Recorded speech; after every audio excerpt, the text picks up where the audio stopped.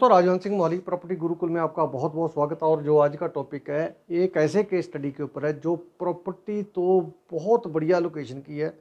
मोहाली के central sector में है और एयरपोर्ट के आसपास भी है।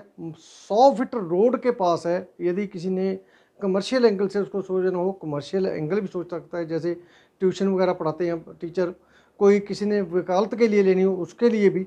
लेकिन इतनी अच्छी प्रॉपर्टी होने के बाद भी नहीं बिक्री, क्योंकि इसमें दो तीन रीज़न है। रीज़न क्या है? नंबर वन ये 250 स्केयर यार्ड मैंने लिखा है ये 250 स्केयर यार्ड या इतने स्केयर फिट की प्रॉपर्टी है। इसमें गलती ये करी कि जिस बंदे ने, जिस बिल्डर ने ये फ्लोर बनाई, इसमें दो बेडरूम बना दिए, जबकि इसमें तीन बेडरूम बड़े आसानी से बन सकते थे। खुले बेडरूम और बहुत बड़ा ड्राइंग, कम डाइनिंग जो है, बहुत बड़ा बना दिया, किचन बहुत बड़ी, उसमें थोड़ी सी एडजस्टमेंट करके एक बेडरूम बड़े अच्छे तरीके से निकल सकता था। अब ये जिस दोस्त ने फ्लोर ली हुई है, इसकी रजिस्ट्री जो है, तीस परसेंट रजिस्ट्री करवाई हुई है उसने। थर्टी परसेंट इसकी ओनरशिप है।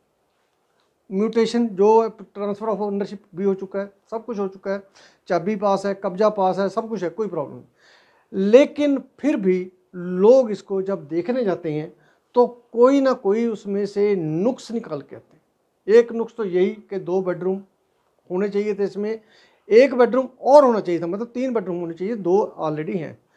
तीन बेडरूम होते तो बहुत ही बढ़िया चीज़ बन सकती थी। और यदि इसमें कंस्ट्रक्शन जो है, जो लोग चाहते हैं मतलब जब हम, मैं प्रॉपर्टी की क्लासों में ये भी, यही बताता हूँ कि यदि आपने कोई प्रॉपर्टी बेचने के लिए लेनी है तो हमने बेचने, बेचते वक्त हमने खरीदार बन के हर नुक्स उसका नोट करना है। क्योंकि मेरे को, यदि मैंने अपने लिए घर बनाना है तो उसमें तो कोई परेशानी है नहीं। मैंने बना लिया, मेरे को रहना शुरू कर दिया। जब मैं बेचने के लिए बनाऊँगा, एक ग्राहक के पसंद नहीं आता, वो अलग तरह का नुक्स निकाल देता है और फिर दूसरे ग्राहक के पास आता है, वो दूसरे तरह का नुक्स निकाल देता है, तीसरे के पास आता है, तीसरे तरह का नुक्स निकाल देता है। इसलिए आपने प्रॉपर्टी कंस्ट्रक्शन करते समय या प्रॉपर्टी खरीदते समय इस बात का बहुत स्पेशल ध्यान रखना है कि सामने वाला बंदा इसको रिजेक्ट करके जाएगा।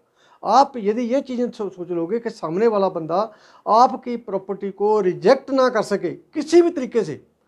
मैंने जो रियल स्टेट में बताता हूँ कैलकुलेशन फिर कंपैरिजन ऑफ़ रेट फिर मैनुपलेशन तो ये चीज़ों का आप ध्यान रखना है। यदि आप कोई बना के चीज़ देना चाहते हो तो उसमें किचन का और बाथरूम्स का बहुत स्पेशल ध्यान रखना है। ये क्रॉस वेंटिलेशन होने चाहिए, इसमें से क्रॉस वेंटिलेशन होना चाहिए और किचन खुली होनी चाहिए क्योंकि कोई भी व्यक्ति, कोई भी फैमिली, जिस औरत ने फैमिली में वो घर लेना है, उसने आधे से ज़्यादा समय उस रसोई में बिताना है। यदि रसोई उसके लिए कंफर्टेबल होगी, बढ़िया तरीके से बनी होगी और उसमें क्रॉस वेंटिलेशन होगी, उसमें एग्जॉस्ट फ़ैन लगा होगा तो वो प्रॉपर्टी बहुत ही बढ़िया तरीके से बेची जा सकती है, क्योंकि वो प्रॉपर्टी को उसकी, जो फैमिली की लेडी है, जिम्मेवार लेडी है माता है, या मतलब उनकी, कोई मतलब वाइफ है किसी की तो वो प्रॉपर्टी को पसंद करेगी तो वो आदमी कभी भी उस प्रॉपर्टी को मना नहीं कर सकता। हम देखते हैं, ज़िंदगी में देखते हैं कि जब कहीं प्रॉपर्टी में, मैंने तो देखा ज़िंदगी में, जहाँ औरत ने हाँ कर दी कि ये प्रॉपर्टी लेनी है तो वो प्रॉपर्टी बिकने के 80 परसेंट चांसेस हो जाते हैं। दूसरे एंगल से भी सोचें, यदि हम बाज़ार में जाते हैं, हमारे जेब में पैसे हों या ना हों, जब हमारे बच्चे इस बात को जिद करते हैं कि ये लेके दो, ये लेके दो तो हम कहीं ना कहीं उनकी जिद के आगे झुक के वो चीज़ उनको लेके देते हैं। यही फैमिली का है। क्योंकि हम एक दूसरे की कदर करते हैं इमोशंस की कदर करते हैं। बच्चों को खिलौना इसलिए लेके देते हैं कि बच्चों के इमोशंस की कदर है। और ये घर में हम वाइफ की बात तब मानेंगे क्योंकि हमें वाइफ की इमोशंस की कदर है।